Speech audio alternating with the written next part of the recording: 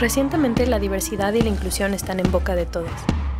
Pero, ¿qué significan estos conceptos en la práctica? ¿Cómo afectan y dan forma a nuestra experiencia individual y colectiva? ¿Qué hacemos para formar sociedades con menos discriminación y exclusión arbitraria? Como respuesta creamos Jungla de Ideas, un podcast donde exploramos la diversidad a través del diálogo y buscamos reducir la brecha entre la percepción social y la realidad que habita cada persona. Somos Andrea Lembert, especialista en diversidad e inclusión y políticas públicas. Y Arli Velázquez, atleta paralímpico, emprendedor y artista escénico. Únete a la jungla, suscríbete, síguenos en redes o apóyanos en Patreon. Construimos puentes desde la empatía y el intercambio de ideas. En este episodio también participa Benito Gobea con la perspectiva de aliado. Cecilia de la Vega es la actual cofundadora y principal conferencista de AGB Consultores, empresa que busca acercar a las organizaciones nuevas tendencias de liderazgo y desarrollo de talento basadas en diversidad e inclusión. Inició su vida profesional con la generación de proyectos culturales para la Universidad de Salamanca y posteriormente se trasladó a Holanda para colaborar con la Corte Penal Internacional de La Haya, involucrándose en temas de crímenes masivos y de lesa humanidad. Después volvió a México para colaborar en IBM, donde se desempeñó como gerente de programas de diversidad e inclusión y luego como líder de los esfuerzos de inclusión laboral y desarrollo de talento hispano para IBM Estados Unidos.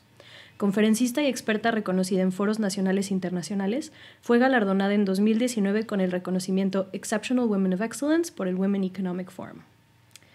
¿Hay algo más que tengamos que saber sobre Cecilia de la Vega? Está muy contenta de estar aquí. Estoy embarazadísima sea, un poquito dated el episodio cuando lo veamos. Y soy la mamá de Elena de cuatro años, de la próxima Mariana de menos un mes. ¿Qué más cositas de mí? Fan de todos los zombies. Todos los Leo, veo películas, cómics de zombies y me gusta mucho bordar. Tengo ahí como... No bordo zombies pero, pero deberías. Bordo cobijas de bebé, pero en estos momentos. Pero sí, todo lo de lo undead me gusta mucho. ¿También videojuegos? No tanto, mi marido es este quien tiene Xboxes, Nintendos, PlayStations varios, pero pero por ejemplo, series y series de libros películas. y películas y teorías de antes era magia y ahora es un virus y cómo ha evolucionado y toda la metaliteratura detrás. Ese es mi hobby. Hablando y aprovechando este puente, háblanos de diversidad, de inclusión laboral, la diferencia que sería entre esos dos conceptos y también responsabilidad social corporativa. Claro que sí, y justo es algo que se tiende a confundir mucho. Entonces, nada más especificando también, eh, y para su audiencia y demás, o sea, yo realmente me especializo en diversidad e inclusión en entornos laborales. ¿No? O sea, sí va de la mano de temas de justicia social, derechos humanos y demás, y ahí es donde a veces la gente la confunde con responsabilidad social corporativa, que realmente la responsabilidad social corporativa a grandes rasgos es la labor de la empresa, la organización, la industria, como un ciudadano más y cómo se integra eh, y digamos pone su granito de arena, ¿no? Con la sociedad. Con la sociedad. De hecho, hay empresas que lo llaman ciudadanía corporativa. Entonces, se presta mucho a que se crea que la diversidad y la inclusión forma parte de la responsabilidad social porque es la empresa siendo buena ondita, eh, estirando una mano, siendo parte de la comunidad, pero realmente la diversidad y la inclusión, si bien tiene una parte de justicia social, porque pues discriminar está mal, ¿no? Entonces, hasta cierto punto, si tú no discriminas o generas inclusión estás también aportando a fortalecer un tejido social, sí también va muy de la mano en empresas con gestión del talento. Entonces, realmente, si bien responsabilidad social corporativa tiene que ver hacia afuera con cómo la empresa se acerca a sus comunidades, a sus ciudades, es un agente más para la sustentabilidad, sostenibilidad y demás. La diversidad y la inclusión laboral está más en RH, cultura organizacional, es más hacia adentro en el sentido de generar programas de talento que sean accesibles a todo tipo de talento, que busquen reclutar de una manera diversificada, que den mayores oportunidades, que fortalezcan acciones de em, flexibilidad vida-trabajo, conciliación vida-trabajo y que las personas que se integran en el entorno laboral puedan crecer a su máximo potencial siendo ellas mismas, ¿no? Si hay acciones de diversidad e inclusión que se mezclan con responsabilidad social corporativa, Por ejemplo, a lo mejor una empresa dice, oye, yo de, de responsabilidad social corporativa voy a reforestar, ¿no? Que es algo que hacen muchas empresas. Ese es un camino. Y hay alguien que puede decir, oye, yo como responsabilidad social corporativa a lo mejor voy a donar tiempo de mi fuerza laboral a una escuela de eh, a lo mejor niños que ven discapacidad para enseñarles a utilizar herramientas básicas de Excel y que tengan más oportunidades en la vida. Ahí se junta porque estás apoyando a la comunidad, pero también fortaleciendo un talento que forma parte de una población vulnerable para que en un futuro tengan más oportunidades. Entonces ahí está un poquito mezcladas las dos. Pero digamos que una es sobre todo una es como más para afuera y otra es como más para adentro. Y una no depende de la otra. No depende de la otra. Tú puedes tener una empresa con excelentes acciones de responsabilidad social corporativa que no hagan nada de inclusión o al revés. Poco probable porque por lo general empresas que entienden una tienden a entender la otra. Es muy raro que alguien súper apoye hacia afuera las comunidades y tenga este, prácticas discriminatorias con su gente, ¿no? O sea, también van de la mano, pero sí, una no, no depende de la otra ni está englobada en la otra realmente. ¿Y, normalmente dentro de la empresa son áreas separadas o recursos humanos que hacen las dos funciones? Mira, me ha tocado de todo. Realmente me ha tocado de todo. Lo que más he visto yo es que responsabilidad social corporativa está más con comunicación externa, con marketing en ocasiones. Okay. Y hacen acciones de mercadotecnia con causa o eh, social marketing o cositas así. Y diversidad e inclusión, si no es un área en sí, debajo de recursos humanos, que es una, una mejor práctica, ¿no? El que tengan alguien responsable de esto, está dentro de gestión de talento, dentro de RH general, dentro de cultura organizacional. Me ha tocado algunas veces que está dentro de reclutamiento, porque las primeras acciones que se hacen es para atraer diversidad de talento. Okay pero realmente está, o sea, sí se puede permear a toda la organización, suelen estar ahí. Eh, me ha tocado en ocasión, así muy rara ocasión, que diversidad e inclusión está en ética y cumplimiento.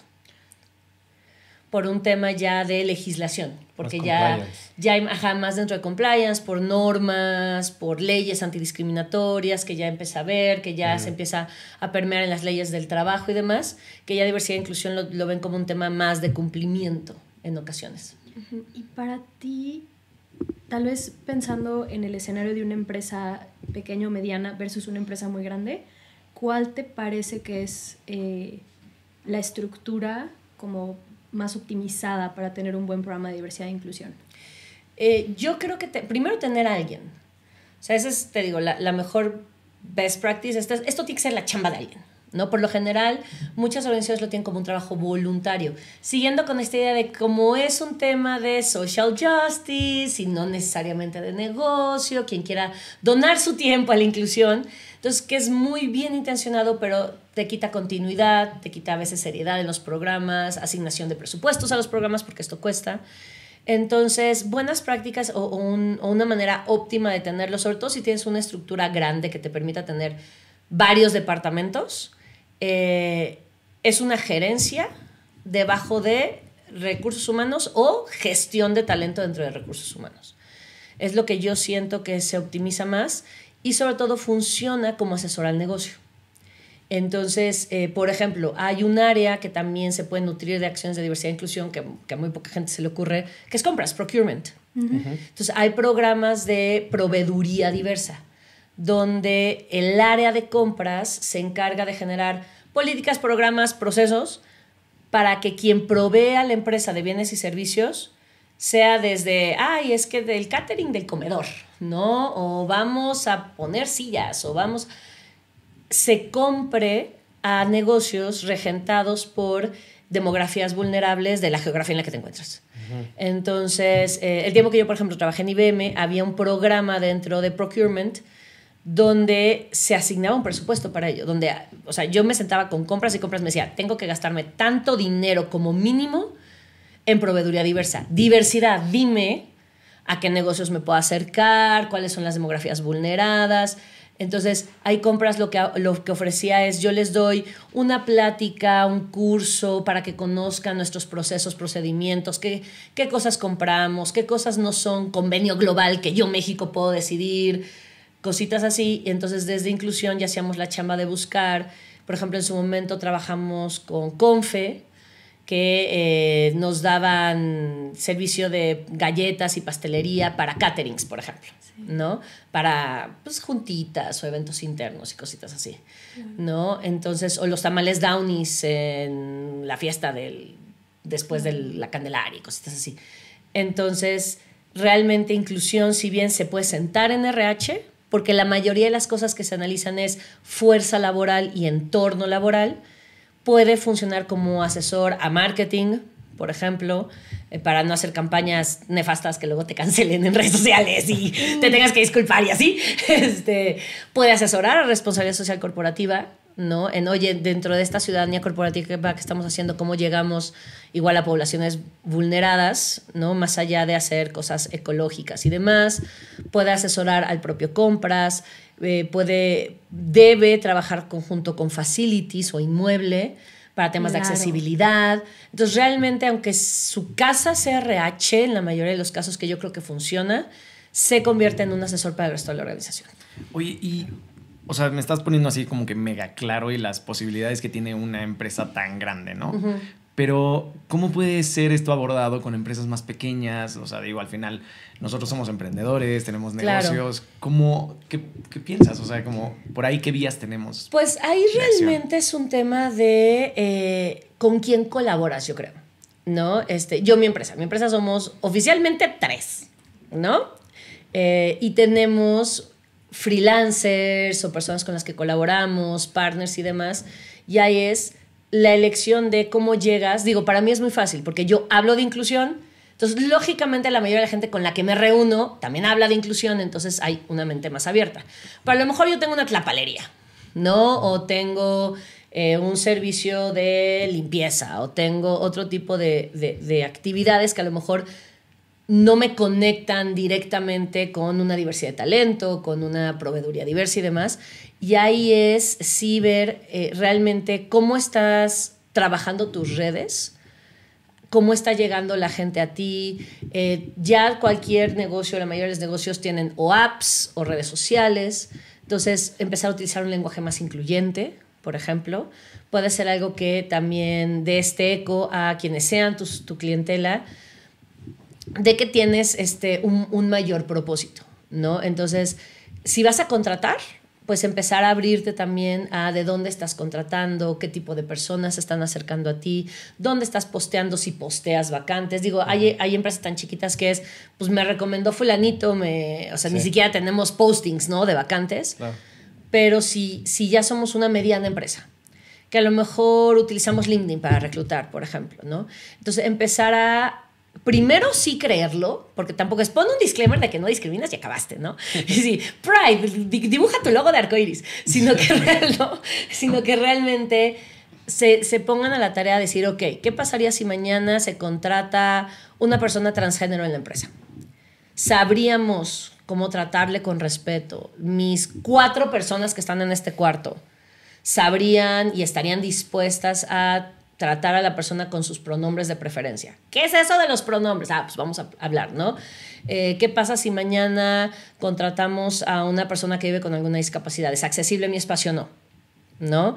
Entonces, primero empezar a pensar si estaríamos en, en un entorno de bienvenida y luego ya, oye, pues sí, ¿sabes qué?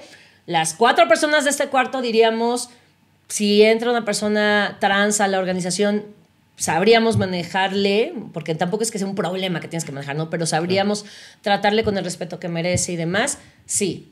Chido, chido. A ver, ferias de empleo trans.com, ¿no? O sea, Pride Connection hace, la Federación Mexicana de Empresarios LGBT más hace, o simplemente entonces ya estamos listos, listas para poner en nuestras cuatro vacantes de empleo que tenemos en nuestra página mediana de LinkedIn que no se discrimine en esta organización por motivo de identidad de género y te invitamos a apuntarte, por ejemplo, ¿no? Entonces, sobre todo es, o sea, porque más que hacer, yo siento que el primer paso es querer hacer. Claro.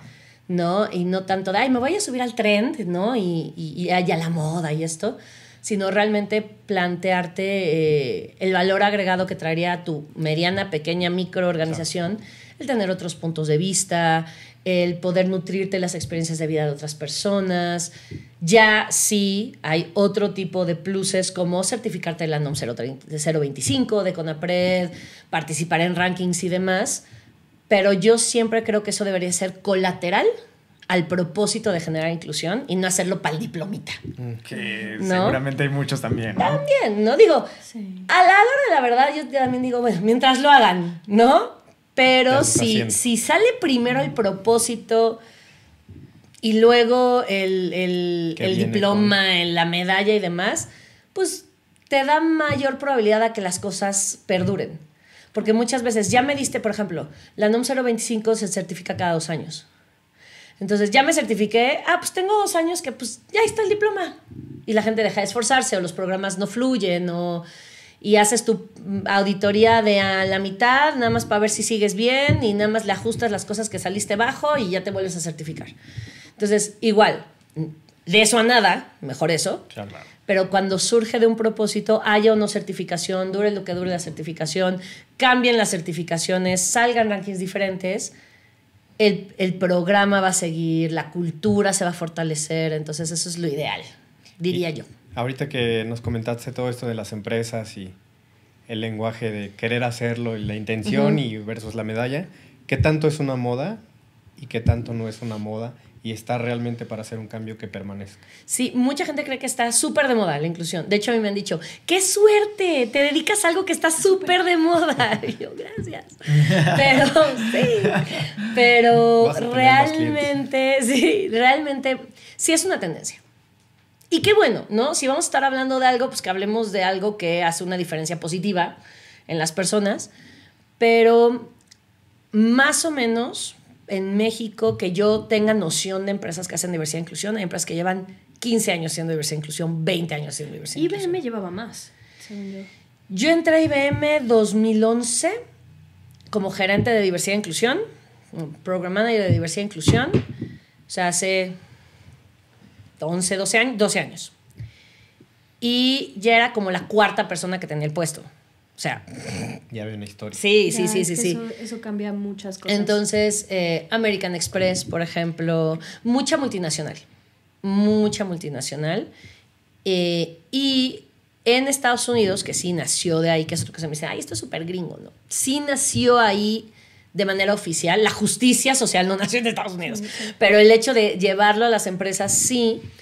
Y estamos hablando de prácticas de 1953, la primera política que se conoce, 1960 más o menos, y mucho tuvo un boom después de 1969 cuando se eliminó la, la segregación racial oficial, ¿no?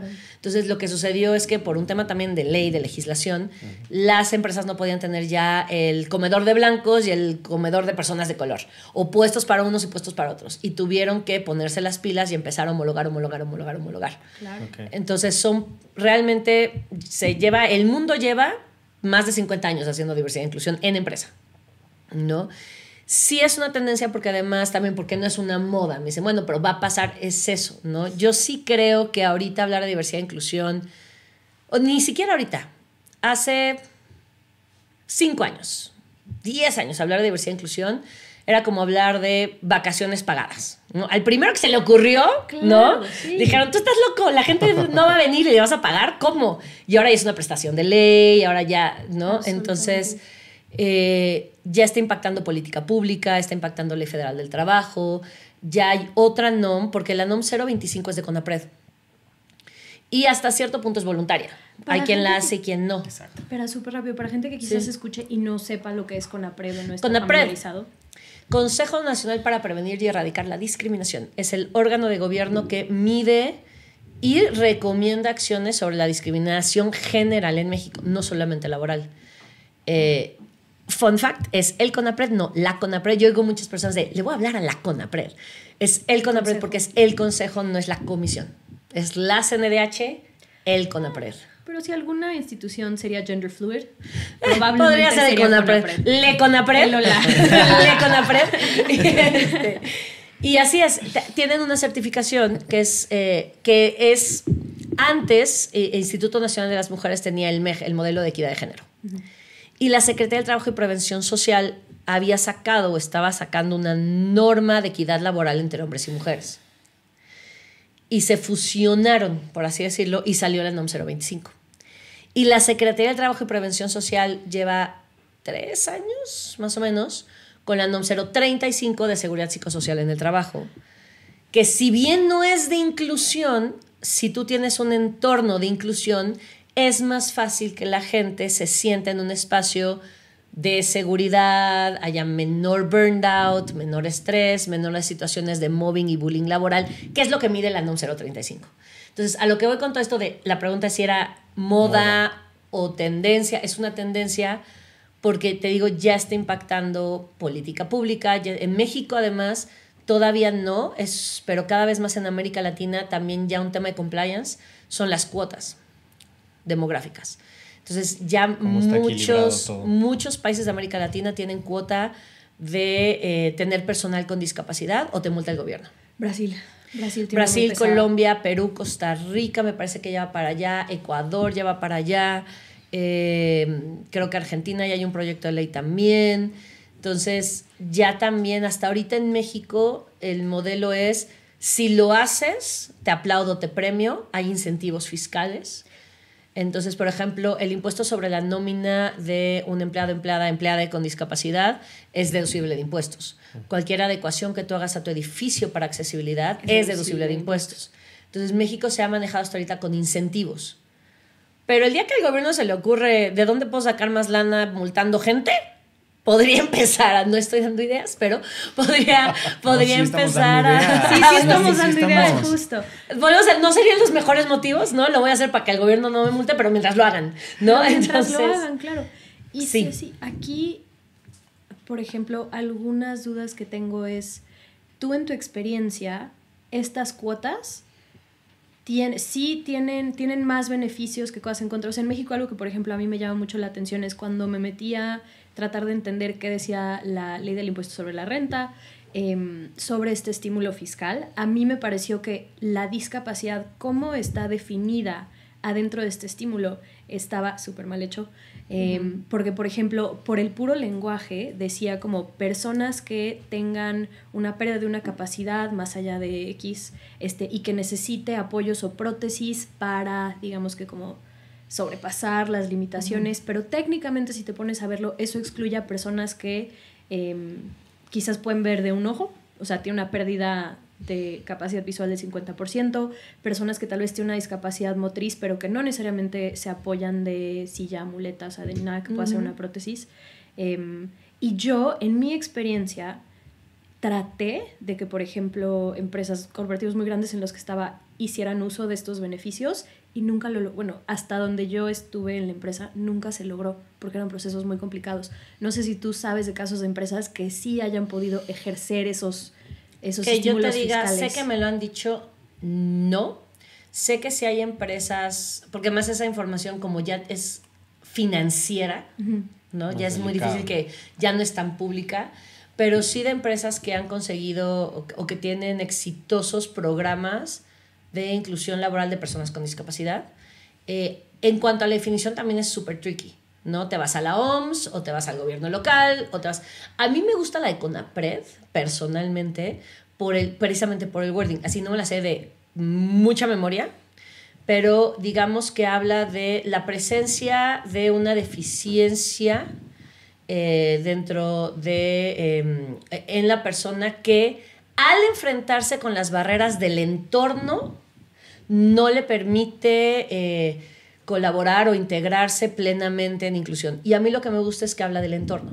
O sea, porque realmente no es tanto, eh, o como lo veo yo, y ahora sí tú me sacarás de mi error, la persona como tal, sino la barrera del entorno. Si cambiamos el entorno, puede que ya no haya esas limitaciones. Las limitaciones la pone, las pone el entorno en el momento en que yo al, tener una discapacidad auditiva y solamente hay alarmas sonoras, no me voy a enterar. Pero si cambias el entorno y pones alarmas lumínicas, sí me voy a enterar. ¿No? Entonces, a mí esa definición de CONAPRED me gusta porque también llama la atención a lo que debe cambiar, que es el entorno, no la persona. ¿no? no sé qué opines. Yo que vivo una discapacidad, justo es lo que te iba a decir, o sea, como que yo no soy, yo no me percato de mi discapacidad hasta que mi entorno me lo demuestra. Claro. Y, pero como que quiero regresar un poquito, ¿cómo, ¿cómo crees que sea la estrategia para las empresas para así lograr ser, hacer un, eh, estos programas eh, exitosos sobre transformar espacios para, eh, para hacerlos accesibles o eso? ¿Qué crees que es, dónde está la fórmula? Digo, porque si tú que te dedicas a esto, no, o sea, como que es difícil. Tengo tanto trabajo, ¿no? Porque no debería tenerlo, ¿no? Sí, sí, sí, o sea, yo, yo trabajo para hacerme obsoleta, es una crisis existencial tremenda que tengo, ¿no? Para no ser necesaria. Yo creo que tiene mucho que ver con arraigarlo en la cultura. Por eso la, la necesidad de que siempre haya alguien muchas empresas o, organizaciones o, personas ven la, la, la, inclusión como un apaño para solventar un problema. ¿No? Tengo un problema porque tengo personas con discapacidad y no las puedo integrar. Tengo un problema porque tengo gente de muchas edades y los boomers y los millennials y no se hablan. Tengo un problema porque no tengo suficientes mujeres en puestos de liderazgo. Entonces, se plantea, muchos plantean la inclusión como una solución a ese problema. Solución del problema, ya sea cambio físicamente en mi edificio, promuevo mujeres a partir o de cuotas o de programas o de lo que sean que podríamos discutir si son más o menos válidos o exitosos. O, no sé, hago lo que tenga que hacer, ¿no? Y entonces ya, no, ya dejo de necesitar la inclusión porque se me soluciona el problema. Entonces, esa postura no ayuda porque realmente no es una solución a un problema, realmente es una evolución en tu cultura laboral. Eh, entonces, no es tanto de, pues, yo, les, yo de broma les digo a las empresas, ay, pues ya, ya sabes, desencloseta dos ejecutivos, promueve ocho mujeres, pon tres rampas y eres incluyente, ¿no? No es tan fácil, porque tiene que ver de cómo lo arraigas al día a día de las personas, la manera en que la gente comunica, porque además muchas veces, yo sé que ahorita estamos hablando de los básicos y la conversión se centra en esta vulnerabilidad, hablamos de discapacidad, de género, de orientación sexual, identidad de género, pero realmente la diversidad también es personalidades introvertidas en empresas, ¿no? que son consideradas menos eh, líderes ¿no? por no ser tan loud al hablar, o, o una una neurodivergencia más que una diversidad cognitiva, ¿no? Por ejemplo, que se puede llegar a tener. Entonces yo creo que lo que las empresas deben hacer es realmente arraigarlo a los valores y que esté ahí siempre, no como, un, no como una solución a un problema. O sea, que tú hables de diversidad e inclusión siempre en tu inducción a nuevos empleados empleadas. Que no solamente hables de no discriminación cuando percibes que estás contratando a alguien de la población LGBT o que viva con una discapacidad, sino a todo el mundo sepa que es cero tolerancia a la discriminación, cero tolerancia al acoso que tus programas de liderazgo incluyan liderazgo inclusivo siempre. Porque luego pasa, ¿no? Tenemos nuestro programa de líderes y nuestro programa de líderes incluyentes, como si fueran cosas diferentes. Cuando realmente, si tú vas a ser líder de esta empresa, tienes que eh, ser una persona que sepa manejar sus sesgos inconscientes, que sepa lo que son los sesgos inconscientes, que comunique de manera inclusiva, que eh, sepa de ciertas particularidades al momento de gestionar talento, que tengan que ver precisamente con igualdad de oportunidades y no discriminación, que sepa identificar bullying, mobbing y se haga su responsabilidad el que no suceda. Porque muchas veces, ay, pues yo no hice, pero tú eres el líder, es tu, o la líder, es tu responsabilidad que no haya. Entonces yo creo que arraigarlo a, a los valores y tenerlo, o sea, hablar de esto siempre y no cuando sientas que lo necesitas. Cultural y filosófico. Creo, creo que sería eso. Es como, como el área de compliance. ¿no? Yo les digo, ¿ustedes tienen un área de compliance? Sí. ¿Y solo la enciendes cuando alguien te comete fraude o la tienes encendida siempre? No, pues siempre.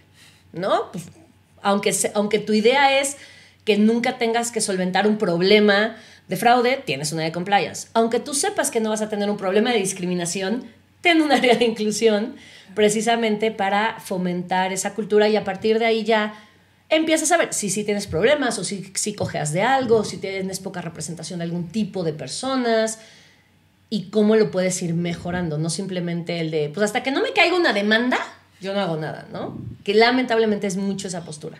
Me dicen, no lo necesitamos, no tenemos bronca. Es que no tienes que tener bronca. y no debería de ser reactivo, porque eso lo que implica es, en algún momento vas a tener un problema muy grande o una demanda muy choncha que te pudiste haber ahorrado, que te va a costar muchísimo en términos de, o sea, desde moral de las personas que trabajan contigo hasta este, ya multas que te puedan poner y de nuevo son cosas que puedes solventar trabajando esto de una forma proactiva. O no te das cuenta sin caer en una gran bronca, pues que a lo mejor el 50% de la gente que te renuncia te está renunciando por esto. pero nadie te lo dice porque todo el mundo se sale por temas personales. Porque si te digo que me estoy yendo porque tu clima laboral me es hostil, me pones como no recontratable, conflictivo, etcétera, etcétera, etcétera, ¿no? Entonces, hasta, hasta tú puedes tener una rotación que tú crees que es estándar, que se podría evitar si las personas se sintieran más bienvenidas en su entorno laboral, más escuchadas, más valoradas. ¿Tú crees que viene ese cambio desde los líderes? Debería. Ok. ¿No? Realmente, eh, y es algo que también digo a las empresas, ¿por dónde empiezo? Pues puedes empezar por muchos lados, ¿no? Pero sí es importante tener el buy-in ejecutivo de la más alta dirección, de los líderes formales e informales, porque siempre les digo, líder y gerente no necesariamente son sinónimos, ¿no? Entonces, eh, la importancia de tener personas que modelen precisamente estos comportamientos de inclusión porque, como decíamos, se arraiga en la cultura, pero se vive a través de comportamientos. Entonces, tener un liderazgo que modele esos comportamientos, que dé esos mensajes, porque tú puedes tener igual, gente voluntaria que te diga, yo voy a armar el grupo de empleados de mi empresa y yo voy a hacer que desfilemos en Pride y yo voy a hacer que grupo de mujeres empoderadas, y maravilloso. Pero a la primera que un alto o una alta directiva te diga, estas son jaladas que no sirven para nada, pues ya que yo, ¿no? Entonces, eh, por ejemplo, en 2019 el HR Institute hizo un estudio para ver cuáles eran las principales barreras que empresas que llevaban tratando de hacer diversidad e inclusión por cinco años o más estaban encontrando, ¿no? Que ya no era el voy a empezar y no sé cómo, es ya llevo un rato haciendo esto y nada más no avanza. La principal era presupuesto, número uno. La segunda, eh, falta de compromiso del alto liderazgo. Y la tercera, falta de métricas para enganchar al alto liderazgo. Entonces, si la gente que te suelta la lana no entiende que esto es importante, vas a estar chocándote contra pared de entrada. Y el que no tengas las evidencias para hacer que la gente que tiene que soltar la lana y tomar las decisiones se, se comprometa, pues se convierte en un círculo vicioso, ¿no? Porque quien te dice, sí vamos a hacerlo, te dice, demuéstrame que sirve, pero es que para demostrarte que sirve necesito que confíes que esto sirve, porque no solamente es venderte una moto, ¿no? Tenemos que ver, medir resultados, es una inversión a largo plazo, esa es otra bronca, ¿no? Que no es de, pues, ya, te dije que hicieras inclusión, llevas un mes, ¿cuáles son los resultados? ¿No? Porque mucho tiene que ver también con el clima laboral, cómo la gente lo respira, o sea, resultados sencillos o rápidos es contrataste, no contrataste, por ejemplo, promoviste, no promoviste. Pero llegar a decir, pues voy a promover a alguien solo por quien es, también es un arma de doble filo, ¿no? Entonces es más de cómo hacemos todo un programa para que aceleremos talento, para que haya una mayor representación, para que haya una mayor diversidad de ideas. Pero sí, eh, volviendo a, a, la pregunta, si, si no surge desde el liderazgo, el liderazgo sí debe estar comprometido. Y este, dentro de la sociedad, ¿quién es el responsable de estos cambios? ¿Es el gobierno? ¿Es la empresa? ¿Es la sociedad organizada? Son consultores como tú que trabajan con la empresa, que trabajan con la sociedad, que además deben estar informados de la ley. ¿Es responsabilidad de quién? de nosotros no. No me avienten esa bolita. No. Del podcast. del podcast. De aquí. Nosotros. No, no real, realmente yo creo que es un esfuerzo compartido cada quien lo que le toca. ¿no? Por ejemplo, yo no voy a legislar leyes. No tengo ni, el, ni las ganas, ni el conocimiento, ni la autoridad, ni nada, ¿no? Para eso hay personas expertas. Por, para eso también hay personas expertas en inclusión social, personas expertas en inclusión educativa, personas expertas en, derechos humanos, ¿no? Entonces, eh, y no es de quédate en tu carril y no te metas en el mío, sino que lo importante también es reconocer que esto es muy amplio y compete a muchas disciplinas, compete a muchos profesionales. Y también todos nosotros, nosotras tenemos diferentes roles. Yo, por ejemplo, por un lado es el trabajo que hago con las empresas, que honestamente me encanta, todavía no te diría es mi propósito de vida, pero no deja de ser mi chamba. Yo sí lo veo como un trabajo, ¿no? Del cual en ocasiones incluso necesito desconectar. Lo que sí es mi propósito de vida y donde sí me guste o no lo tengo que hacer es como mamá, por ejemplo. ¿no? no educar bullies, de entrada, este, hablar de esto con mis hijas próximas. Entonces, también entender que así como hay diversidad hacia afuera, hay diversidad hacia adentro. Yo tengo y ustedes tienen muchas aristas de quiénes son. Entonces, yo como profesional, pues he decidido dedicarme a una línea de negocio que me llena personalmente por lo que hago, ¿no? Y que siento que está aportando desde aquí. Personalmente, como mamá, tengo otra responsabilidad que yo percibo más grande, honestamente.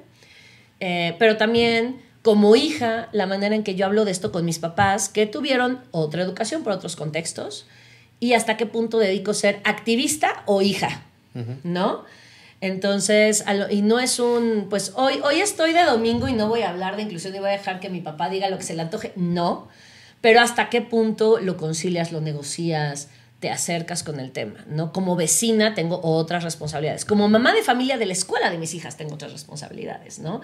Hasta qué punto voy a llegar a decirles, ¡eh, porque ustedes! o mis las invito a, ¿no? Entonces, yo creo que sí, sí lo debemos de ver como una responsabilidad compartida, porque si no es mucho más fácil decir, pues yo estoy aquí sentado hasta que cambien la ley, y cuando cambie la ley hago lo que la ley diga, ¿no? O yo me quedo aquí hasta que, empresa, yo me quedo aquí hasta que venga un consultor a decirme, no, pues también infórmate, lee, ya hay mucha literatura al respecto, hay mucho debate al respecto, ¿no? Entonces, por ejemplo, yo lo que le estoy comportando, compartiendo es mi postura. Hay personas que dicen, esto es una jalada que no sirve para nada y está haciendo que las empresas nada más gasten dinero en ser menos productivas porque lo que tú quieras, ¿no? Y también contrastar esas ideas, ¿no? Entonces, volviendo a la pregunta, yo sí, yo sí siento que a cada quien lo que le toque mientras todo el mundo tenga claro que si no lo hacemos entre todas las personas, no va a salir. Claro. Un esfuerzo colectivo y mientras estés recibiendo información, aplicarla, ¿no? Y ser...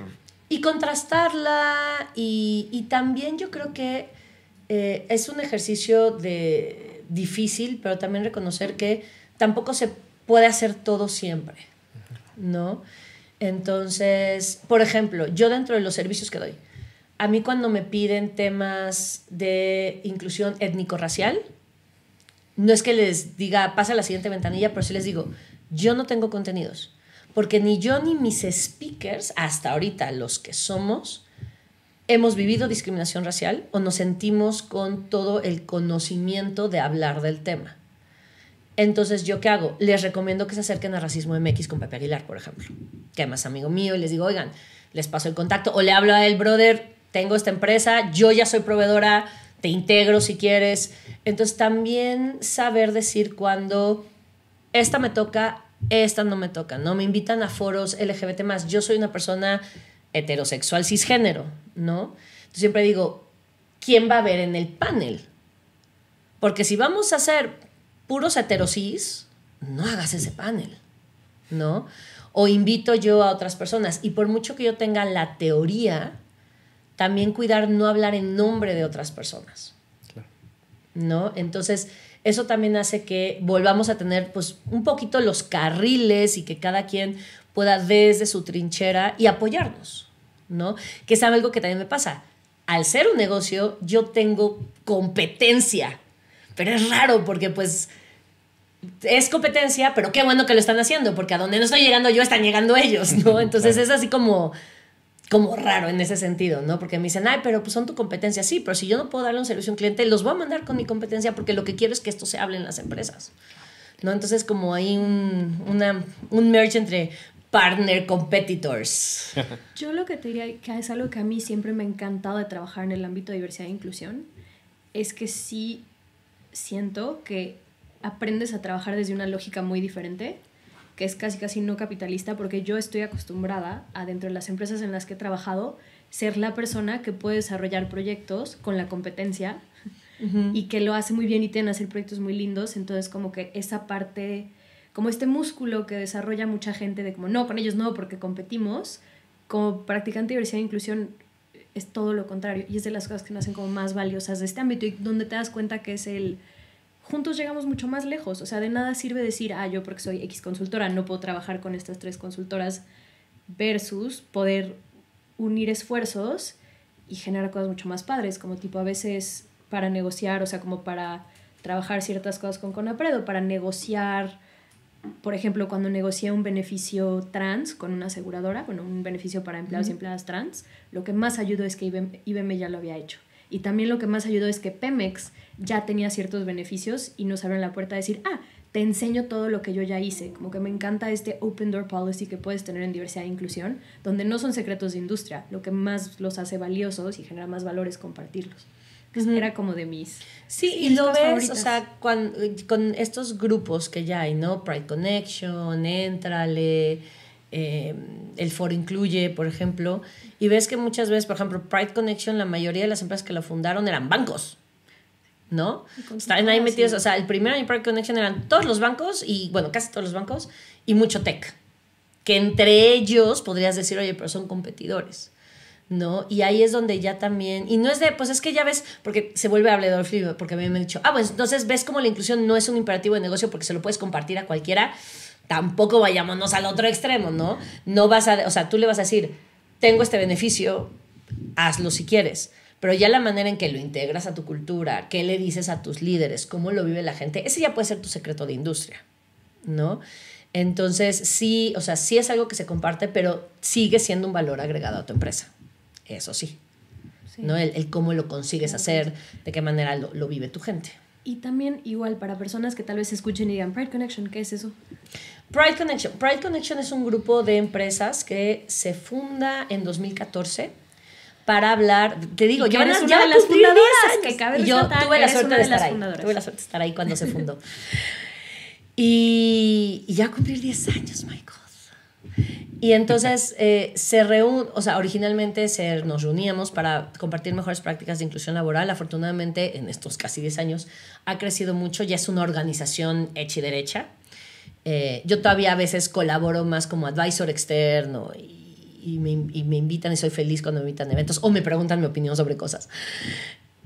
Y, y ya es más, pues sí, un, un, grupo de empresas, como una cámara de comercio-ish, donde eh, se siguen haciendo eventos, capacitaciones, se acerca a estas organizaciones con foco LGBT en, en, mejores prácticas. Acaba de ser el último foro en noviembre en el Centro Banamex, por ejemplo, y entonces hubo paneles de organizaciones, mejores prácticas, eh, feria de empleo, ¿no? Muy importante y demás. Entrale, muy similar, Entrale también lleva bastantito. Yo en Entrale realmente lo que soy es amiga un poquito lejana porque hemos coincidido algunas veces de, de, de los chicos de Fernando que lleva Entrale y muy similar, solo que Entrale está enfocada a eh, discapacidad. Entonces, éntrale, asesora organizaciones, genera foros también, tiene ferias de empleo, tiene certificaciones, tiene entrenamientos para apoyar a las organizaciones a brindar igualdad de oportunidades a profesionales que viven con discapacidad. Eh, el foro incluye, es de la consultora Talent Lab, me parece, y creo que sí es incluye el, nombre del foro, que por ejemplo ellos, eh, Talent Lab es especialista en general temas de gestión de talento, liderazgo, cultura organizacional y también tienen un brazo hacia la diversidad y la inclusión y hacen este foro donde ya más en plan generalista se habla de diversidad e inclusión y alguien más que me esté faltando, hay cuáles. Hay cuáles eh, viene de Centro, Centro Sudamérica, pero no, no, se generó en México. Me parece que son colombiano-ecuatorianas. O, o de Perú. Creo que sí y hay cuales, así como Pride Connection tiene un foco en LGBT+, aunque no hace solo LGBT+, pero su foco es LGBT+, y hacen cosas interseccionales, entran hacia la discapacidad, hay cuales está con foco en género. ¿Qué de género? ¿Mm? Pero, por ejemplo, cada año hacen un ranking que es el ranking par y no solamente leen género, ya empiezan a leer cosas más interseccionales también. Entonces, estos son... Eh, tanto consultores como más que consultores, estos ya son más foros a los que las empresas se puedan acercar para conocer de mano de otras empresas. Es lo padre, ¿no? Ahí ya no es un consultor externo que por mucha experiencia que tengamos y nos la vivamos metidos y metidas en estas empresas, ya es la propia empresa que, hola, yo soy el delegado de Procter Gamble y te voy a contar lo que hemos hecho, ¿no? Ya está más enfocado a, eh, a la experiencia vivencial de las organizaciones y sus representantes. Entonces busquen a Pride Connection, son lo Oye, y bueno, ¿qué empresas lo están haciendo bien en México? Afortunadamente cada vez más. Eh, sí muchos son multinacionales, bueno, eh, multinacionales extranjeras, porque hay multinacionales mexicanas, ¿no? Em, muchas son empresas que tienen base en Estados Unidos o en Europa y migran, cascadean sus valores, sus prácticas y demás. Eh, mucho de tecnología, mucha empresa de tech. Eh, no sé, ATT. ATT, por ejemplo, tiene todo un equipo de diversidad e inclusión. Ya, ni siquiera es una persona, es un equipo de diversidad e inclusión. Eh, está haciendo bastante. El, propio IBM, que bueno, es donde yo aprendí, no es mi casa. El, um, Accenture tiene muy buenas prácticas. Marsh Wrigley, a mí Marsh Wrigley me gusta mucho porque Marsh Wrigley tiene la particularidad de que todavía tiene plantas, tiene manufactura, o sea, tienen las plantas de, de, la, de la, comunidad de alimentos animales, tienen Royal Canin, tienen Whiskas, ¿no? Y los M&M's y todos los, los, dulces de Marsh Wrigley. Y, y es algo que a mí como externa me ha gustado que me han contratado para ir a la planta entonces, porque por lo general todo esto a veces se percibe como muy administrativo corporativo. De la oficina. ¿No? Ajá, inclusión corporativa. Realmente es inclusión laboral. No todo mundo que trabaja está sentado en un corporativo. ¿No? Eh, Etsy, que llegó a México hace poco, trae unas prácticas padrísimas. ¿No? ¿Y empresas mexicanas? Cinépolis. Okay. Cinépolis fue una, por ejemplo, Cinépolis fue la primera empresa mexicana, a riesgo de equivocarme, de unirse a Pride Connection. Entonces, Cinépolis, que ha, ha, ido de la mano también del gran crecimiento que ha tenido Cinépolis en general, claro. ¿no? Pero Cinépolis le ha apostado desde el principio a la diversidad y la inclusión. Grupo Bimbo está haciendo bastante, sobre todo Bimbo Global.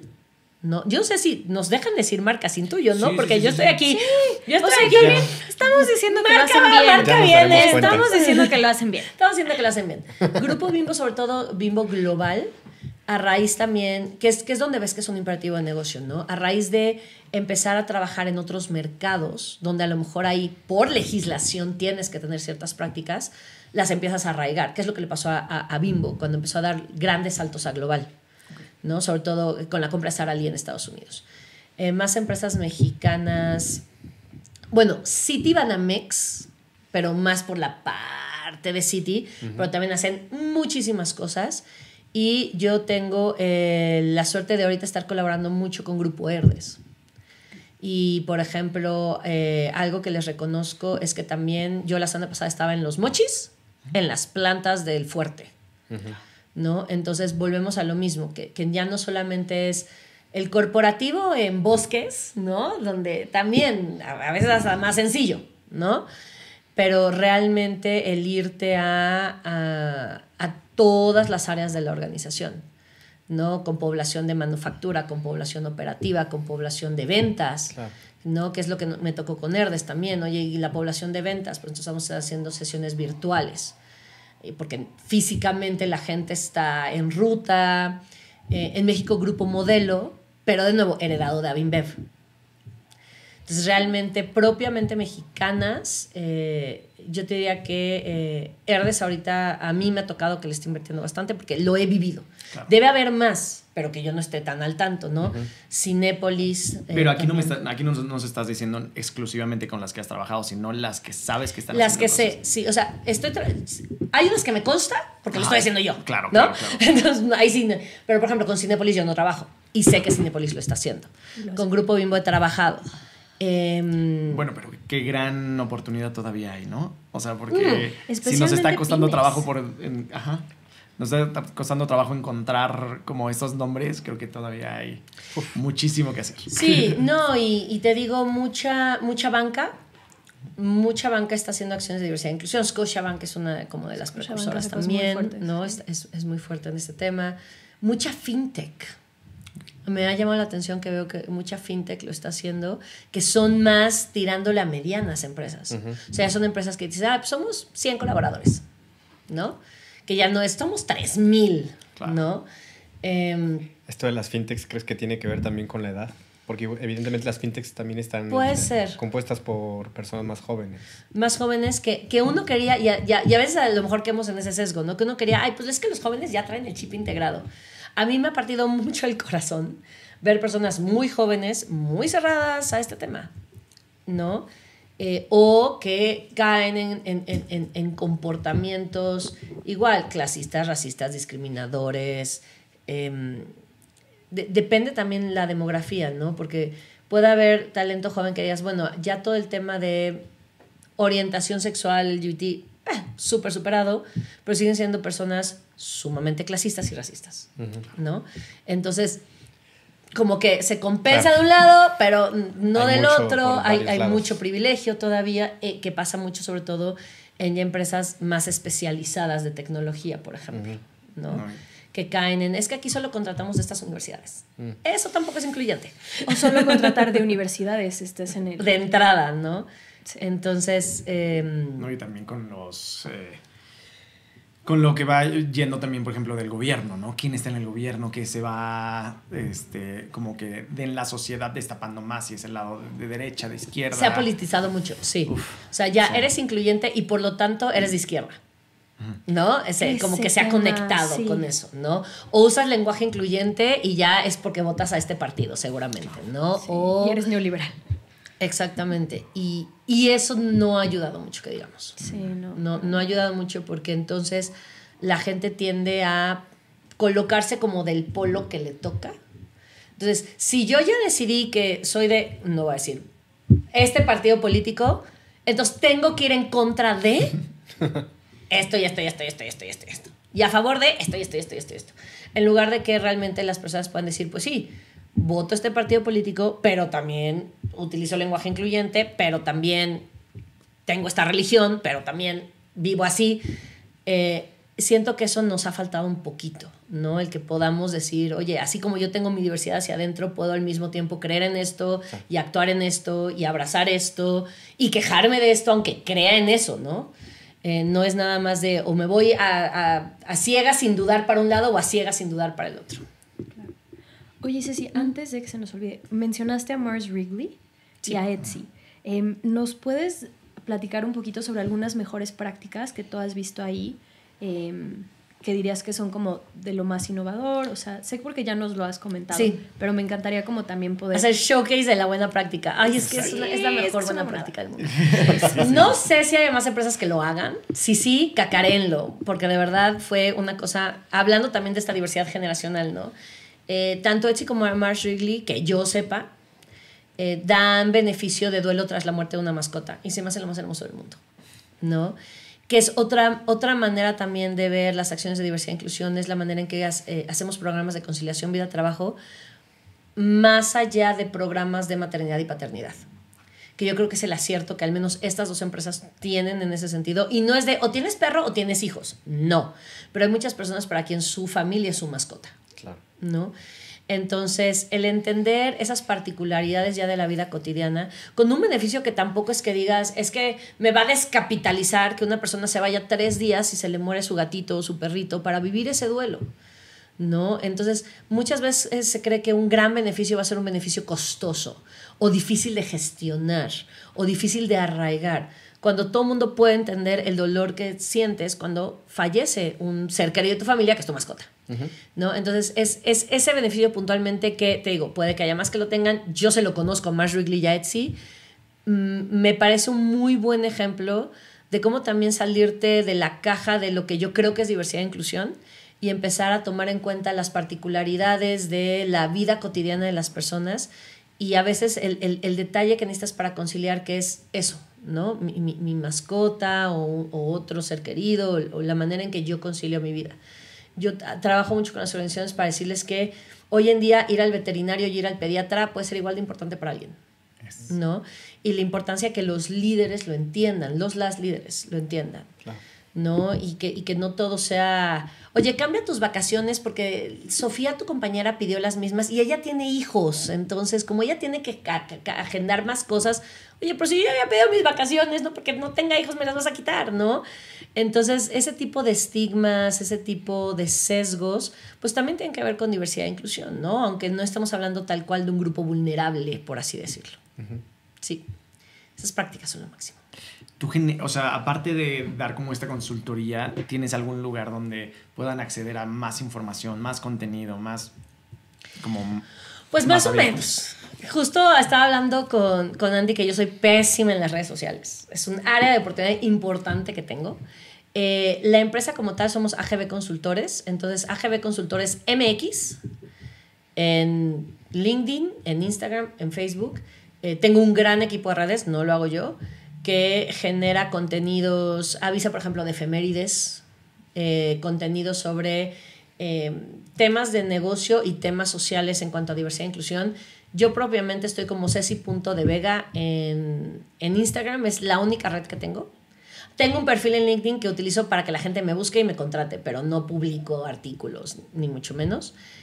Y ahí a veces también, por ejemplo, hago recomendaciones de lenguaje inclusivo o eh, hablo de conceptos o de efemérides, cositas así. Y yo le recomendaría a las organizaciones que realmente pues busquen en general eh, dónde se pueden acercar que son buenos repositorios de información. Está Catalyst. Catalyst está basada en Estados Unidos y Catalyst empezó como género y ya se ha ampliado a otras aristas de la diversidad y tienen estudios, white papers, artículos, la mayoría está en inglés. El propio CONAPRED, realmente, o sea, en México CONAPRED es un gran lugar para conocer de normativa, de entrada, para conocer de eh, temáticas de diversidad e inclusión, de particularidades de los grupos considerados eh, vulnerables, de las demografías más discriminadas del país, qué se puede hacer, qué recomendaciones hay. Si se quieren certificar de la NOM 025, ahí dentro de CONAPRED hay toda una guía de qué tienes que tener, cómo te tienes que certificar, qué debes hacer. Em, está ADIL, ah, Alianza por la Diversidad e Inclusión Laboral, que igual arrancaron como exclusivamente LGBT y se han ido ampliando. Actualmente ellos también llevan la certificación Equidad MX, que es el Index de Human Rights Campaign, pero para México. ¿no? Y también ellos también son consultores, también dan entrenamientos a empresas y tienen también, digamos que, toda la información de Human Rights Campaign para México. Em, realmente ya hay N cantidad de, de, foros, de organizaciones, de lugares donde se pueden acercar a conocer más. Pero está súper bien que los menciones porque la verdad para la gente que de repente no tiene ni idea, están perdidos, no saben muchísimo. por dónde empezar. Creo que es, Hay muchísimo, hay muchísimo. Y, mm, y te digo, hay, muchos, hay mucha literatura, la mayoría norteamericana, la mayoría en inglés. Hay algunos autores franceses que tienen... Em, pues que hacen propuestas muy fuertes, o sea, todo lo que tiene que ver con derechos laborales en Francia siempre ha estado muy a la vanguardia eh, ahorita traen broncas tremendas, además, ¿no? Por eso. Entonces, el, el modelo francés es súper centrado en la persona, súper centrado en la persona. Yo tengo una, una, una, prima a la que quiero mucho, que justo vive en París y el otro día eh, me, me, contó que le diagnosticaron burnout. Ok. Y vas con tu comprobante médico de no puedo trabajar durante dos semanas porque tengo burnout. Y no le pueden ni mandar un mail sea, me dice, mi jefa no me podía hablar nada más para preguntarme cómo iba de mi burnout. Porque no puede buscarme. Qué bueno. Entonces, em, para allá es, es más person-centric. Mucho en Estados Unidos sigue siendo corporation-centric. Es tu gente va a estar bien, pero para que te trabaje mejor, ¿no? Entonces, que está bien mientras te preocupes porque tu gente esté bien. Este, y, y te digo, en México, CONAPRED hace eventos, hace foros, tiene además también, no solamente, por ejemplo, a la pregunta, y no se me ocurrió decirlo, de qué puedo ser medianas, pymes y demás, CONAPRED tiene capacitaciones gratuitas. Súper. De inclusión laboral, como 10 cursos. Entonces tú te metes a la página de CONAPRED, buscas capacitaciones, me parece que, no sé si es mensual o bimestral, se abre la convocatoria, tú dices, ¿a cuál te quieres apuntar? Si entras, ya te dicen, felicidades, tu webinar va a estar eh, live de tal fecha a tal fecha para que veas los videos, tomes las clases, veas las lecturas, hagas tus evaluaciones y te mandan tu certificado de haber completado. Hay sobre violencia laboral, hay sobre accesibilidad, hay sobre básicos, ¿no? El ABC de la diversidad e inclusión, ¿no? Hay sobre lenguaje. El manual de CONAPRED de lenguaje incluyente es muy bueno yo se los recomiendo a las organizaciones que lo usen de base para cuando vayan a hacer sus propios glosarios o manuales internos de comunicación incluyente. O sea, también no hay que inventar el hilo negro. Ya hay mucha información. Muchas veces creemos de, voy a empezar yo a, si quieres, sí, date. pero ya hay mucho de donde puedes partir, porque esto no es tan nuevo como creemos. Mm. Entonces ya hay mucho de gente que ya lo intentó, gente que lo intentó y le salió bien, gente que lo intentó y le salió mal. Entonces hay muchas historias que leer al respecto. Y además aprovechar, pues, o sea, creo que hay beneficio que puedes utilizarlo desde la cultura laboral y, y como dices, este, estos lugares que estás promoviendo que sean mucho más amables e incluyentes hasta pues esto, o sea, yo no sabía que había, que podías, había estímulos fiscales hacia convertir espacios para accesibilidad. Yo no sabía, ¿sabes? O sea, wow. Sí, es una decisión inteligente del negocio si lo ves con esa de existen, existen, pero algo que nos falta mucho en México es hacer que este beneficio sea fácil y accesible de ejercer como empresa. Porque si existe, pero como empresa no puedes genuinamente hacerlo valer, también ahí se atora, que es el tema. O sea, porque eso es como, existe en teoría, pero yo creo que el hecho que no se conoce y que es difícil de usar, genera como un desincentivo. Entonces eso es algo que yo creo que a nivel país tenemos que trabajar. Es como, oye, si tenemos el marco normativo, asegurémonos de que también tengamos los mecanismos bien planteados y las instituciones bien posicionadas para que las empresas, em, las personas empleadoras que lo quieran utilizar puedan y puedan hacerlo sin que sea demasiado costoso o como un compromiso más allá de lo que sea razonable para su tamaño, su nivel de madurez, o sea, todas las características que puedan Y es lo que hablábamos de de quién es responsabilidad, ¿no? Entonces, a lo mejor yo como empresa mi responsabilidad va a ser precisamente tener todo el papeleo necesario, disculpen, para poder registrar mi accesibilidad, ¿no? Eh, la responsabilidad ahí, por ejemplo, de protección civil es darme los lineamientos claros a qué adecuaciones tengo que hacer, ¿no? Para no poner, ay, pues se puse ahí una rampa media ojo y la rampa así, ¿no? Este, 70 grados de inclinación, ¿no? Así de, porque así como que nos ha pasado. De no, es, de verdad que es muy ah, clásico. existe, eh, eh, eh, es, me parece que esta es por entidad federativa. Entonces, Protección Civil tiene manuales por entidad federativa donde te dice cuánto tiene que medir, cuál es la inclinación que tiene que tener, de qué tiene que estar hecho, etcétera, etcétera, etcétera. Entonces, a lo mejor la responsabilidad de ellos es que el manual o las, los lineamientos estén claros. Mi responsabilidad va a ser hacerlo. La responsabilidad del instituto siguiente va a ser que me certifique sobre ello de una manera ágil, sencilla.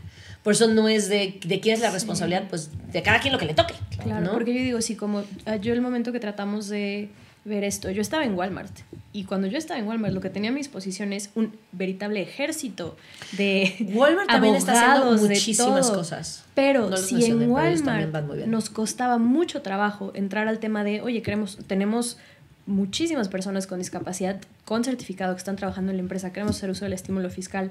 Oye, hicimos todo un proyecto del que tal vez vamos a hablar en el podcast para generar como prototipos de tienda accesible. Si a Walmart le costaba trabajo poder acceder al estímulo fiscal, ¿qué va a ser la casa de Pepe y Toño? O sea, ahí es donde yo creo que sí, las empresas, independiente del estímulo fiscal o no, hay que ponernos las pilas, pero ahí sí, la parte que le toca a las instituciones es ayúdenos, háganlo accesible, háganlo, o sea, hagan, creen procesos directos con información transparente, este, disponible en línea y no es por como luego otro episodio, pero vamos a tener un episodio con Laura Bermejo hablando de este, justo cómo hacer accesibilidad en los ah, inmuebles. Entonces también si a alguien le interesa ese tema, más adelante pues va a estar ese episodio.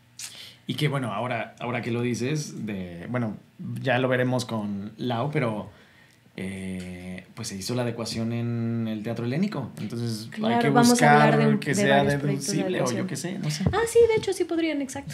Más como espacio cultural les conviene. Este, y ahorita un poco para cerrar, Ceci, quería preguntarte si hay alguna anécdota o algo que ha pasado como últimamente en el trabajo que quisieras compartir. Em, tipo, sé que trabajas también mucho en, ahorita estás trabajando mucho en plantas, con personas que quizás están en turnos de la noche, como en partes de las organizaciones que a veces invisibilizan. Entonces, no sé si también quieras como que hablarnos un poquito de cuál ha sido tu experiencia, qué falta por hacer porque claro, todos sabemos que esto es más fácil que llegue a corporativos y a ciertos espacios. ¿Qué se puede hacer para que permee también en estos ámbitos? Sí, de hecho, este ha sido, o sea, este 2023, finales de 2022, tuve la oportunidad tanto con Herdes como con Nissan de visitar plantas. Eh, cosa que para mí hasta cierto punto era medio nuevo porque por lo general era vamos al cuerpo, vamos al cuerpo. Sobre todo porque venimos de una pandemia donde todo era virtual, ¿no?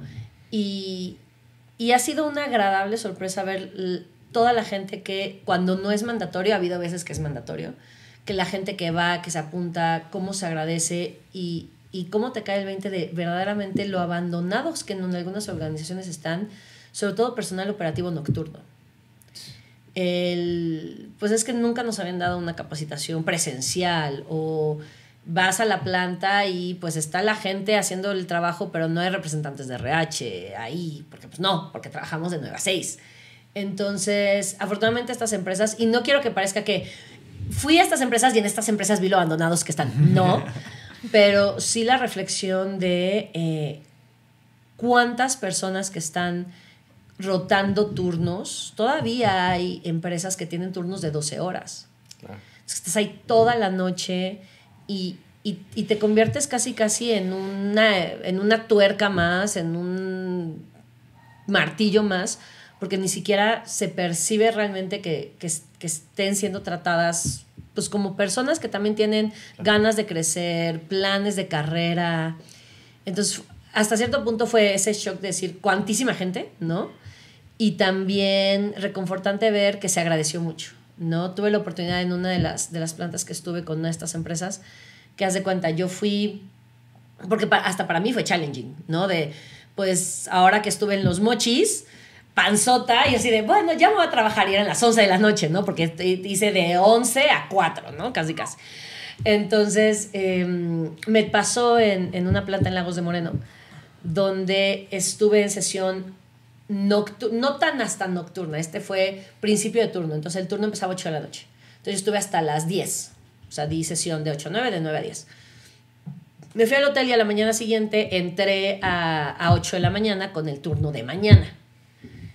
Y, y, después de la sesión se acercó conmigo una chica para agradecerme, no solamente la sesión en sí, porque fue una sesión de introductoria, de empatía, de respetémonos, porque también tienes que empezar pues, desde base, ¿no?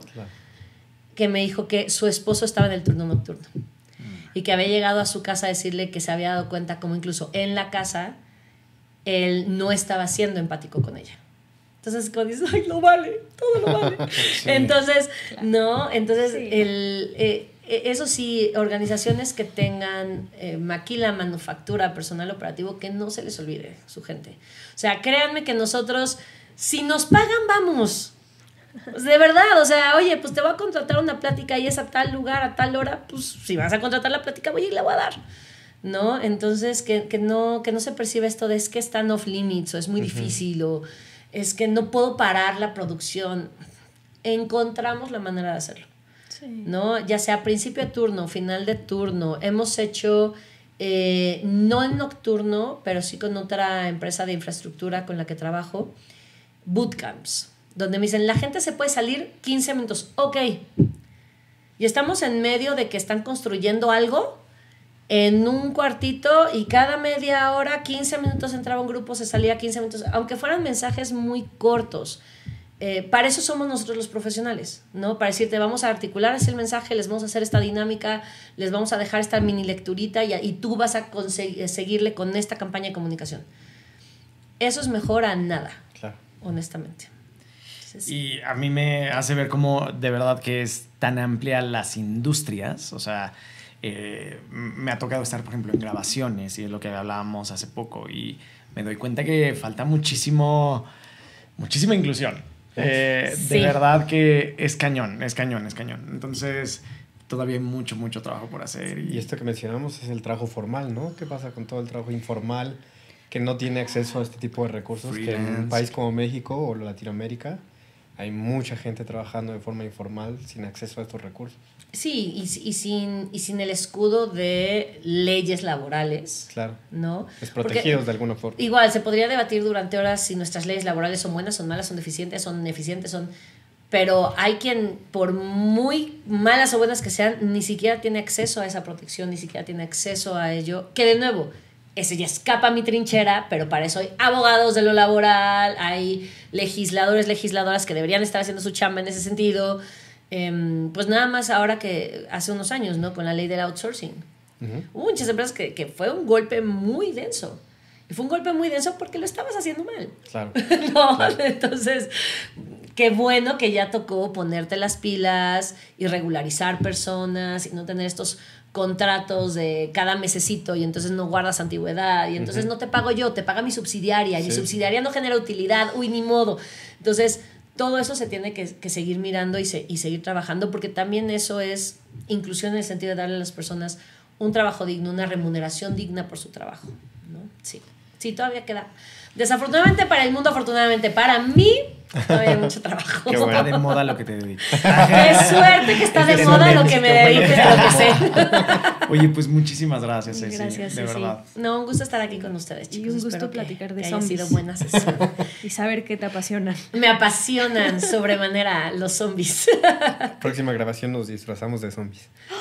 un episodio de Halloween. Una fiesta. No, pero mira, por ejemplo, aquí el hecho que las puertas tengan el, el seguro eh, digital te ayuda contra los zombies. Claro. Porque tú puedes poner. No, sí, tú puedes. un zombie no sabe leer. Entonces, ese es el valor agregado del humano. Entonces, tú puedes poner. Si eres humano, digita este dígito para poder entrar al safe zone.